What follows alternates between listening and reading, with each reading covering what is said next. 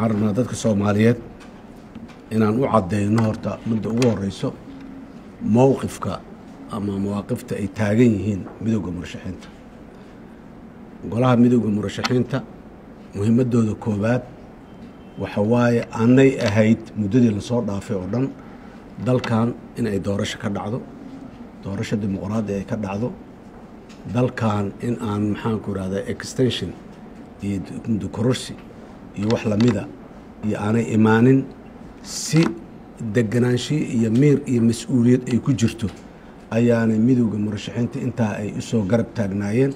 Broseskii doorashada socday arrimaha aan raalli laga noqon karin ee xanuunka badan ee marar badan dhacayeyne ay dulqaad badan uga muujiyeen ra'yiga toosan ay ka qabaanna ay muujiyeen. Hase yeeshee waxaan rabaa maanta in aan meeshaan ka jeedino xaaladda dalka ee siyaasadda meesha ay marayso.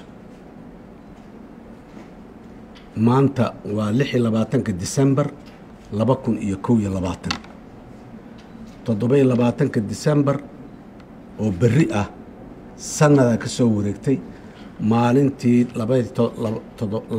sorry toddoba-iyo labaatanka disembar laba kun iyo labaatan ayay ahayd. Baarlamaanka federaalka soomaaliya labadiisa gole inta la dhaariyo inay shaqo bilaabaan oo golaha shacabka iyo aqalka sare oo isku jiro baarlamaanka ah ay shaqo bilaabaan sannadaa ka soo wareegtay maalintii baarlama ma aha maalintii doorashada inay dhacdo ay ahayd. Maalintii dalkaani baarlaman shaqaynayo oo sharciyad leh inuu lahaado ay ahayd ayaa sanad ka soo wareegay. Maanta oo lix iyo labaatankii disembar la joogo baarlamanna ma hayno soomana muuqdo nasiib darrada ugu weynna waxay tahay intaas ummadda soomaaliyeedna horaan ugu sheegnay mar kalena aan ugu celinaynaa caqabadda doorashada dalkan taagan oo aanan laga awalna in la bilaabo hortaagnaa markii la bilaabayna maalin walba meel inuu ka carqaladay u hortaagnayna waa madaxweynihii hore maxamed cabdullaahi farmaajo. Ilaa iyo maantana waa taaganya warka xalay ka soo baxayna intaas unbuu dugsan yahay warkaasi waa diidannahay. Dan soomaaliyeed kuma jirto dowladnimo kuma jirto.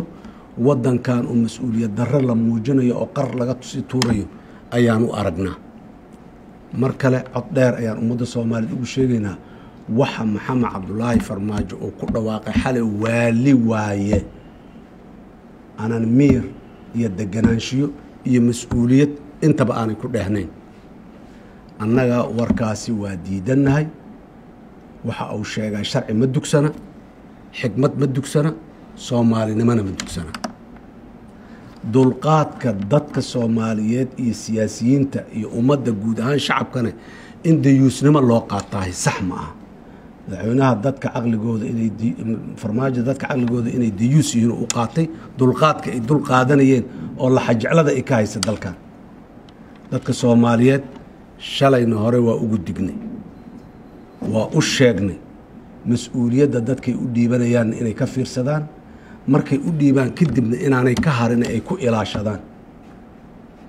Sanad kadib muddadii muddaxileedkiisa markuu dhammaaday maanta meeshaasuu taagan yahay weli.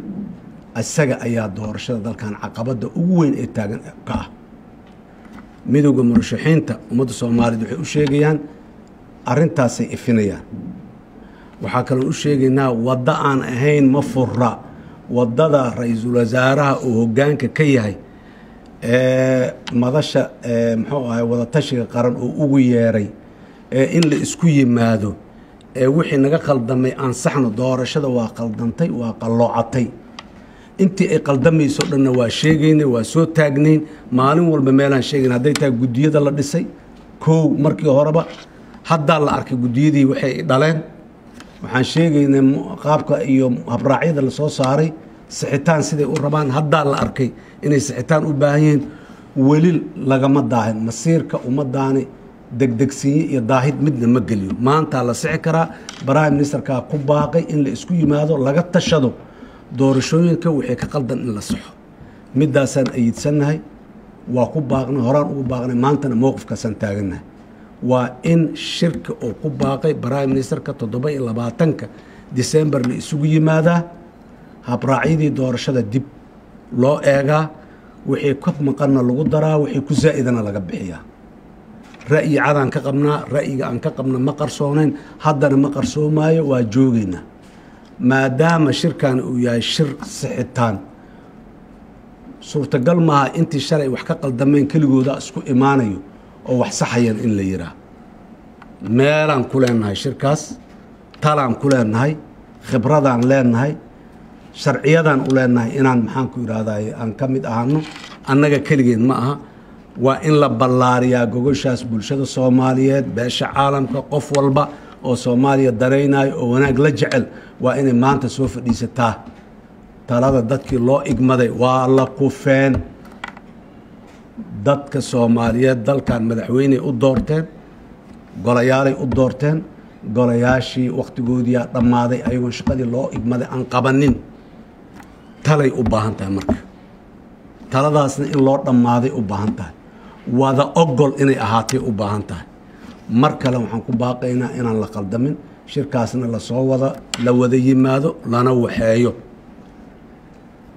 Madaxweynaha hore farmaajo asigoo ummadda soomaaliyeed oo dhan maqlaysa indhihiisa ah ayuu xilka ku wareejiyey prime ministerka doorashada inuu qabto. Caqabad iyo carqaladeynuu la hortaagnaay prime ministerka inay waxaan ay hore u socdaan madaxweynihii hore. Maantana waaba meeshaad aragteen uu ka sii dhacayaa suurtagal ma aha. Dalkani doorashadiisa waa soconaysaa maxamed cabdulaahi farmaajo wuxuuna kala doorsiinayaa laba arrimood oo mid la qaado kara aanan lahayn. Doorasho oo sida uu isagu rabee maskaxdiisa yartaa ku sawiran loo dhaco oo loo boobo dalka inay ka dhacdo. Oo uu hubo boqol kiiba boqol inuu beri uu madaxweyne ku noqonayo isagu. Waa lagu tartamayaa ma aha. Iyo inuu sii joogo meesha iska fadhiyo. Labadaasuuna kala doorsiinayaa waa iska joogayaa haddaanan joogaynin doorashada nooca aan rabaa laga dhigaa labadaba mid la aqbali kara ma jirto. Waa sii joogaana lama aqbali karo. Saan rabaa doorashada laga dhigaana lama aqbali karo. Doorashada masiirka ummaddan waaye. Wax maan hal nin uu leeyahay kama soo bixi karto. Waxa uu ku dhaqaaqayo uu samaynayo darajooyinka uu bixinayo diblomaasiyiinta uu magacaabayo uu ku laaluushayo meelaha uu wax ka taataabanayoo dhan saraakiisha ciidamadee loo yeerayo ee aan laga hadlayn al-shabaab iyo cadowga dadkan haysta sidee looga xoreeya ee la leeyahay lixdii biloodba maraan shirweyne noocaana saraakiishu isugu imaan doonaa haddee calaamadahaasi waxa ay micnaheeda ku fadhiyaan dadka soomaaliyeed maangal waaye waana fahmi karaan waana aqri karaan waana fasiran karaan. Labadaas option ma kala dooranayno waa diidaynaa labadaba. Waa joogayaana ma ogolin oo horean u soo diidnay saan rabaan ka yeelayaana ma ogolin.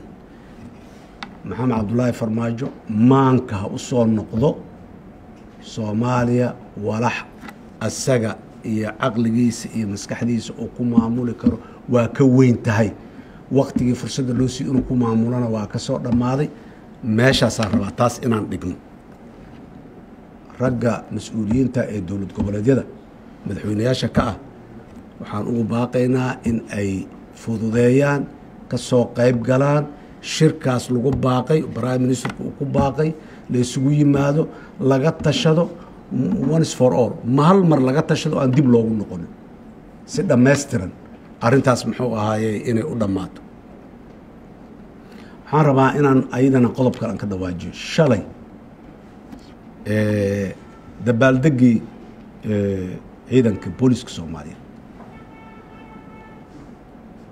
hadda ka hor hadalladeydii waxaa ka mid ahaa jirtay madaxweynuhu sidii ruuxaantii kalu dadka ka soo dhex hadlaa warka shalay meeshaas khudbooyinka laga jeediyey midda farmaajo intentionkiisa aheede miduu mursal jeediye waayo ee miduu farmaajo jeediye maaha. Maxamed mursal dalkan hadda ka hor uu khatar geliyey. Extension khayr sharci ah oo aan jirin uu ku dhawaaqay khataruu u galay dalkan waa ognahay ilaahay subxaanahu wa tacaala awooddiisa iyo dad mas'uuliyiin ah oo u damqanaya dalkan ayaa looga badbaaday khatartaas. Waa ogtihiin si sharci darro ah oo qawaaniinta iyo dastuurka aan waafaqsanayn ayuu laba sano extensiona u ansixiyey shalay. Oo cid la qabtay iyo cid ku raacsan iyo cid sharciyada u soo maray midna aanay jirin. Shalay warkiisa tii oo kalea haddana ka muuqato waa ka digaynaa. Waddadaas waddo la mara ma aha. Waa xiran tahay baa golo shacab oo wakhtigiisi dhammaaday. Oo xildhibaanadii golaha shacabka ay qaarkood ay siritarra noqdeen. Oo kuwo kuraastii ay waayeen oo bannaanka ay mareen oo beddelkoodii waa la doorta la leeyahay taagtaagan yihiin. Maanta in la yidhaahdo baarlamaanaa jiraan shirinaynaan isu keenayna labada jam labada aqal ee baarlamanka ka koobma haddii mid jiro maanta aqalka saraa jira. Golaha shacabka xaaladiisu waa saas. Mursal albaabkaas waa xiran yahay. Maxamed mursalow dhinac la aadan maaha. Sanadkii horea ilaahay ku ceeb asturay. Hadda ha u noqonin. Bisha abril ee sanadkan bilowgiisa eeg ayaa ilaahay ku ceeb asturay. Ha u noqon. Waddo la mara ma aha. Khatar waaye. Kulama wadaagayo afkaaga ereyada ka soo baxaya farmaajo ama asagu ha rabo ama ha kuu soo dirsado ama asaga ha ka timaado ama wuxuu doono ha noqdee. Farmaajo afkiisa ha ku dhahdo waxa uu rabo shalay warka maxamed mursal uu yidhi iyo warka xala farmaajo soo qorayaa isleh baarlamaankii yaa joogo loo yeerayaa iyo waa dhacay xilligii doorashada waa dhammaaday december uu ku egyahay iyo waxaasoo dhan cid dadka soomaaliyeed inay aqri waayaan waxaas macquul maaha. Waxaan leenahay maxamed mursal waddadaasa ka joogo farmaajo shalow ku hoday mar kale you ku hodin. Ma soconayso dadka soomaaliyeed ma aqbalayaan. Hortiis jiraa waayey dalkan waddo aan ahayn waddadaas dimuqraadiyadda uma furna. Jamhuuriyadda saddexaad ee carto ka soo bilaabatay ilaa maanta waa qor isu dhiib. Xilligay leedahay xilligeeday ku qabsoomaysay dadaalada un maalmo iyo bilo iyo dibay ula dhici kareen. Laakiin sannadaa hadda soo wareegtay in haddana la sii wado sanad kale iyo sanad kale iyo sanad kale waa la sii joogaya la yidhaahdo albaabada dhanna maalin walba midkii furmi tagababa la soo oodo macquul ma aha fursadda meeshaasay jirtaa aad iyo aad ayaan ugu kalsannahay golahaas wadatashi qaran inay mas'uuliyaddooda gudan doonaan oo maxaanku irahdaa baaqa ra'iisul wasaaraha uu ku baaqa shirka ay aqbali doonaan imaan doonaan wixii khaldanna ay sixi doonaan. Inay yimaadiin isku yimaadiin isu soo hor fadhiistaan cibaado ma aha. Waa inay wax saxaan. Waan rajaynaynaa wixii wixii khaldamay in la saxo waddadana saas ay doorashada ku dhammaato muddo kooban xaaladan dalkan kuma sii sugnaa karo. Haddaan dhinacaas taas uga baxo oo dhinaca amniga iyo securitiga u yeerto dhowr maroo horena waa ku celin. Ninna kuguma amri karo sarkaalow waxaan sharciga waafaqsanayn. Qof walba qawaaniinta iyo shuruucda lagu heshiiyaa ka weyn. Janan lagaa dhigyaa adoo shalay askari ahayd iyo maxaanku ihahdaa abaalmarin kale lagu meel kale lagu waxeeyaa iyo adigoo maxaanku ihahdaa baagamuundo ah jidka joogi jiray diblomaasiya tahay lagu yiriyaaba macnaheeda maaha inaad dalkaana aad adiga aad mas'uuliyaddiisa qoorta gashan kartid. Dadka waxa ayaan daranaa la yidhaha aakhira ninkii cadaab ku mutaysta dembi uu nin kale daraaddiis u galay. Dembiga adiga gashay ilaahay kugula xisaabtamo waaba la gartabo laakiin nin kale daraaddiis inaad u dambaawdid waa meesha ugu dadnimada ugu liidata. War yaan dad kale loo dambaabayna dalkana ha loo turo ummaddanna annagaa mas'uuliyaddeedii iyo ummadnimadeeda iyo hoggaankeedii soo doonanay oo u taagan kuwa maanta shalay haye iyo kuwa maanta u socdaana waa isku mid dalka mas'uulaa laga wada yahay. Qofna mas'uul uma aha dalka sidau raba inuu ka yeelo. Wuxuu mas'uul ugu yahay wixii lagu doortay qawaaniintii iyo lawaaxidii inuu ku hogaamiyo haddii la iska waayana arrin la iska aqbali doono. Ma ahan xaaladda dalka meeshaasay maray meeshaasaanan la jecelnahay. Waxaanan rajaynaynaa afar iyo labaatanka saac ee soo socdo shirkaasi inuu muxuu ah ifafaarihiisa ay noqdaan ay hore u socdaan. Maanta la joogo waxaan rabaa mar kale inaan ku celiyo ku soo gunaado midowda murashaxiinta hortabintiisa koobaad ama prioritigiisa koobaad waxa waaye doorasha dalkan inay ka dhacdo si nabada ku dhacdo. Doorasho la aqbali karo wada ogol ah inay dhacdo waaye. Haddii la waayo maxaa dhacayo? Taas waa uun howl kale waaye. Maalinteedana waa ka hadli doona aad iyo aad aa umahadsantihiin wasalaamu calaykum waraxmat ullaahi wabarakaatu